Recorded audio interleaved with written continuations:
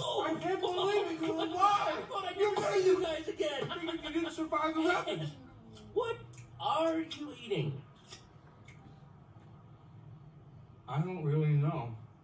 I think it was some sort of wrapper once. What? No. You're in Paris now, baby. My town. No brother of mine eats rejectamenta in my town.